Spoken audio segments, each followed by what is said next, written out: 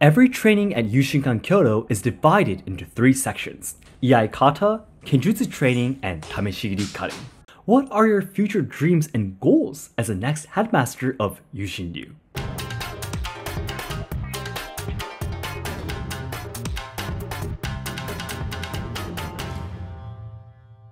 Minasan konnichiwa and welcome to Let's Ask Shogo. So guys, yes, I am back here at my dojo, the Yushinkan Kyoto. But today I want to take you to a very, very special journey, which is actually taking a sneak peek at what the regular training at Yushinkan Kyoto is like. So this is actually going to be my second video of the day in the training of series. I think it's a very rare opportunity to actually be able to see what kind of training the regular trainees would do, so I really hope you enjoy this video till the end. In this channel, you can take a closer look at Japanese traditional culture, tips on traveling to Kyoto, and social problems in Japan. So learners and lovers of Japanese language and culture, be sure to subscribe to enjoy more content. So then, let's get started.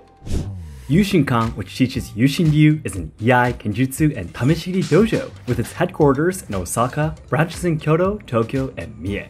About 100 students are training in Yushinryu, and I have trained at the Kyoto branch for about a year now, and I've been enjoying it a lot. There are some interesting, unique characteristics to this Ryuha that you wouldn't see anywhere else. So I hope you can watch this video till the end to find out about it.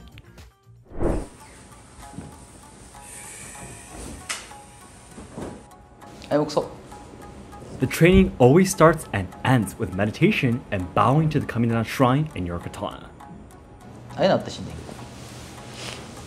Bowing to the Kamidana shrine is for everyone to remember the purpose of training Budo. It is not meant to hurt others, but to train our body and mind, and to become a better version of ourselves.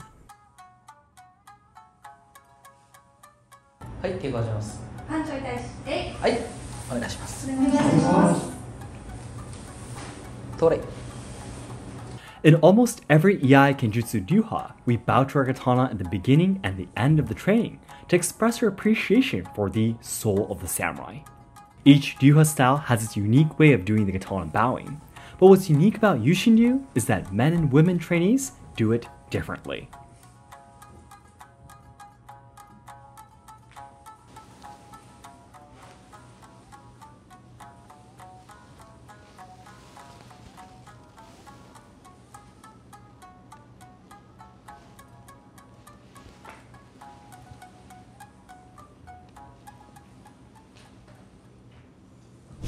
So, before we move on to watching the training, let's interview the head of the dojo, Seto Yushin Sensei. Yushin Sensei is the grandson of the founder of Yushinryu. As you may have noticed, 30 years ago when his grandfather made this ryuha, he named it after his grandson's name.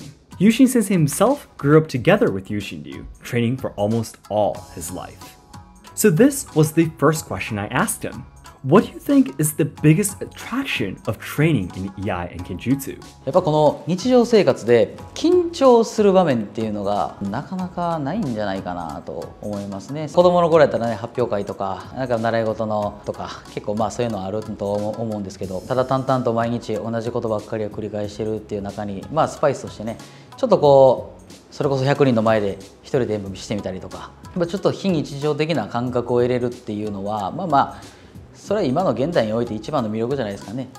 We don't fight with katana on the streets as a samurai did in the past. But then, is training with the katana meaningless? His answer is no.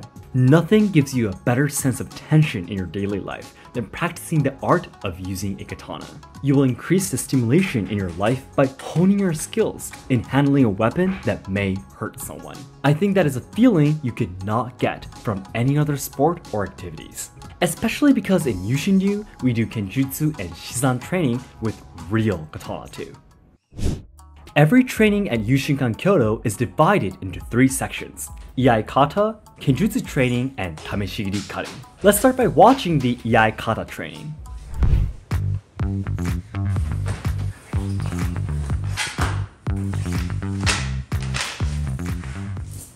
Kata are the fixed exercises, movements like drills, that each have to assume various battle situations. By repeatedly practicing the kata training, you build your muscle memory to be able to react to any situation in a real fight. The students will first watch Yushin sensei perform a kata, then the students will follow afterward. There are about 100 kata in Yushin And because we are a two katana style ryuha, we have techniques for fighting with the uchikatana and wakizashi and using them both at the same time. And they each have standing and sitting kata too.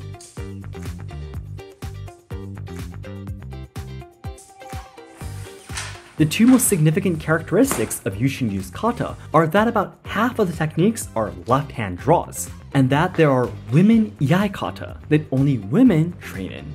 During the Edo period, the shogunate made it a rule to always have your katana on your left waist and walk on the left side to avoid hitting the scabbards against each other when two samurai pass by each other. So the samurai generally drew their katana with their right hand, regardless of their dominant hand. However, in a real fight, to win against a trained opponent, you need to do some kind of surprise attack. Other Ryuha styles train jumping attacks, projectiles, etc. for this, but our Ryuha train left-hand draws. There are other Ryuha that train in it too, but we are the only one with so many varieties of kata. Next, the Women Iai Kata was born to provide more opportunities for women to perform their trained skills.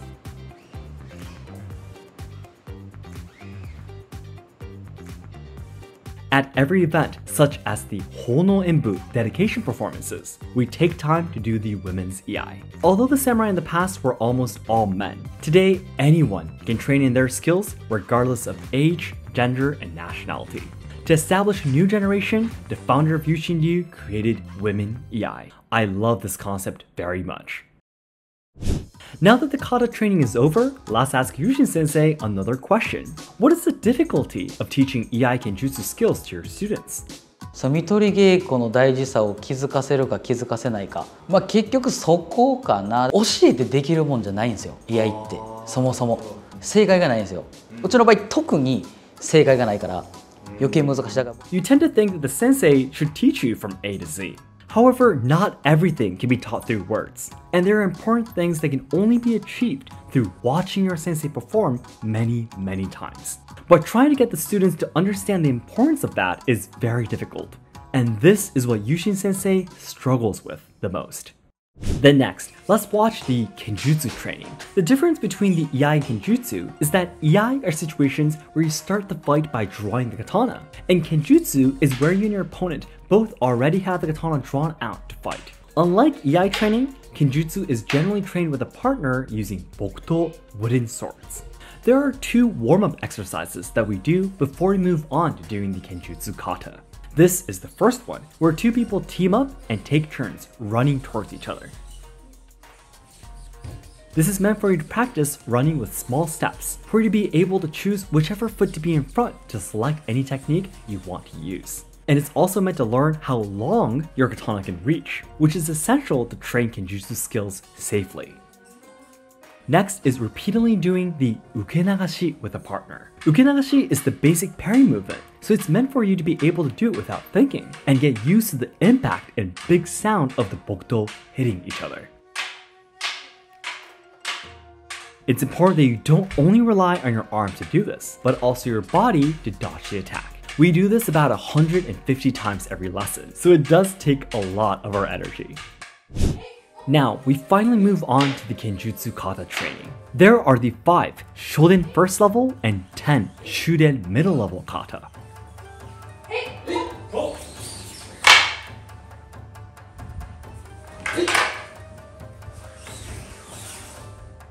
The person who loses will say 8, and the person who wins will say Oh. This is a rule for safety so that the pair always know what each other is going to do. After you defeat the opponent each kata, the winner points the katana toward the partner's eyes and takes two steps forward. This is meant to represent Zanshin. Even if you win the battle, you keep your state of awareness and be ready to attack again.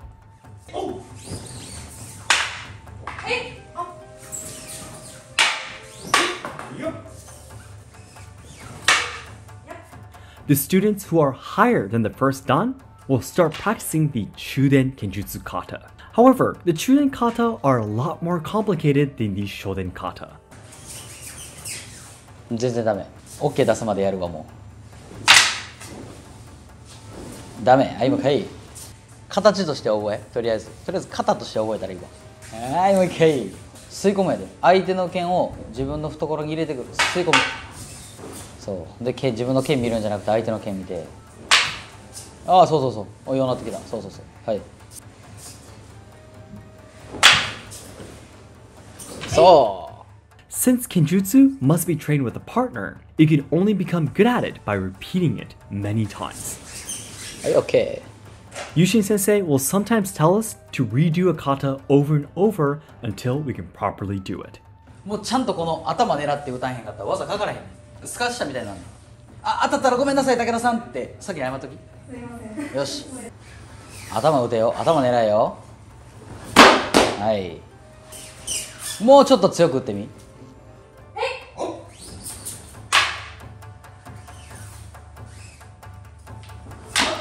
そうそうそうそれそれそれそれそれそれができたら強いわもう一回だけ見せて In Kenjutsu, not only the one who wins, but also the one who swings and loses must have high skills too. You tend to be afraid of hitting the opponent's head and swing at a position where you will not hit anything from the beginning. But if you do not swing straight, the technique will not work.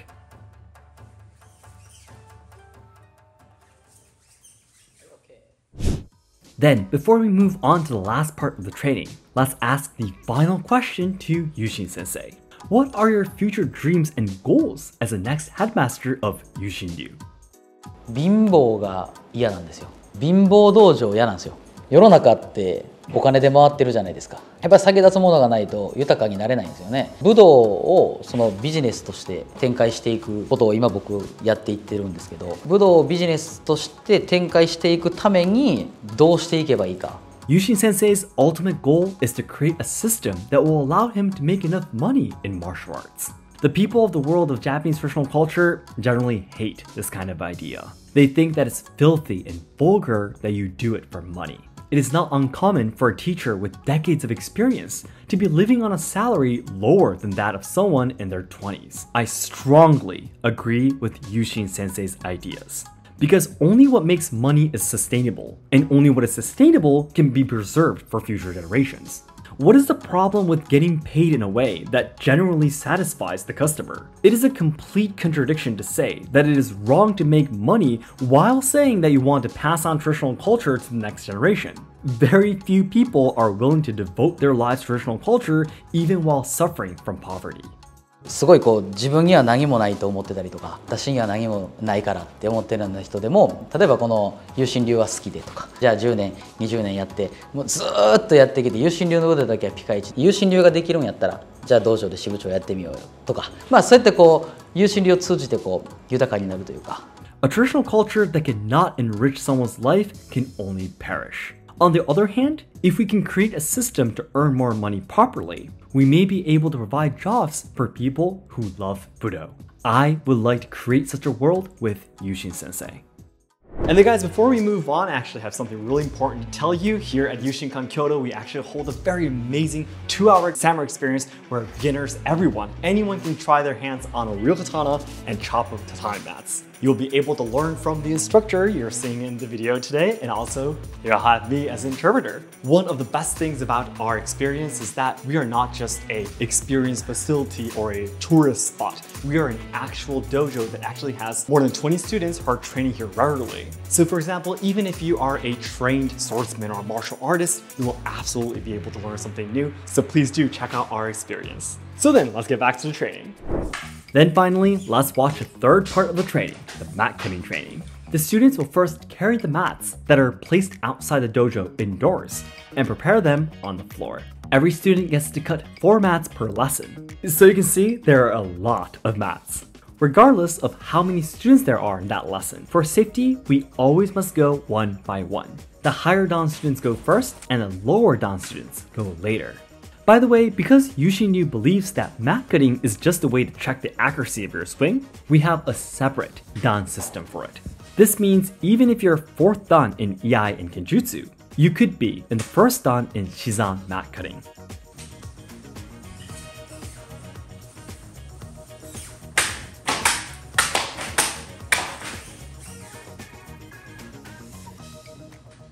The basic cut that you practice is the kesa angle, cutting from the shoulder down to the waist. But you also do uppercuts and horizontal cuts as you get better. But these cuts are much more difficult. And even if you have years of experience, just with a little bit of difference, you can't cut cleanly. The students will choose on their own what they practice, but most people train for the upcoming Dan exams or competitions. At the very end, Yushin Sensei also cuts some mats too. He is constantly trying to improve his skills by creating new cutting techniques that no one has ever done before.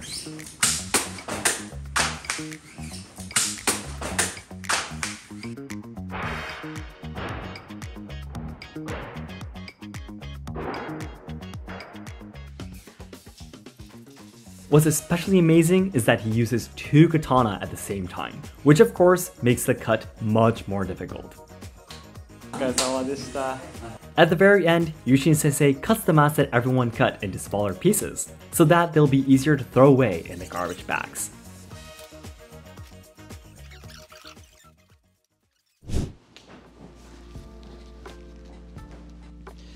Aí, Oxo.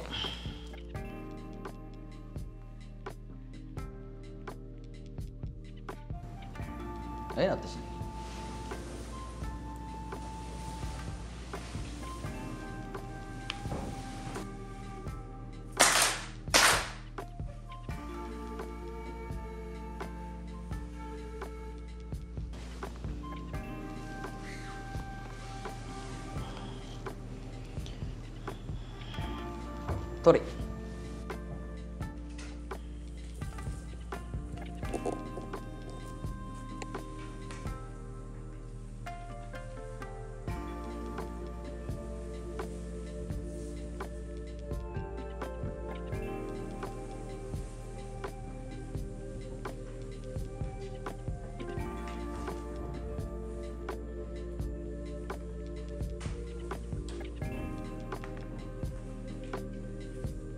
はい結構ありますはいあらっしゃはいお疲れ様でした that's it for today. Thank you very much for watching. I really hope you enjoyed watching the training. Um, unfortunately, because I'm here on my own, I wasn't able to take part in the training myself, but I regularly do. At least two times a week, I come here myself to do the training too, and I seriously enjoy training with everyone. One of the best parts about Yushinkan is that we don't just do Iai, which a lot of modern Iai Ryuha tend to do. We also do Kenjutsu, we also do the Tameshigiri, so you get to have a much more deeper understanding of what controlling and using the katana is about. Once again guys, thank you so much for watching watching this video. If you enjoyed it, please hit the like button and also subscribe to support us. 皆さんどうもありがとうございました。Thanks so much, guys. Bye bye. Welcome to Japan's most authentic samurai training activity. At our 90 minute experience in Kyoto, Japan, anyone can learn how to handle the katana from the modern day Miyamoto Musashi and Let's Ask Shogo. We will provide you with everything you need for your training, so all you need is an exciting heart ready to go on a once in a lifetime adventure. Check out the comments or description box to learn more and to make your reservation.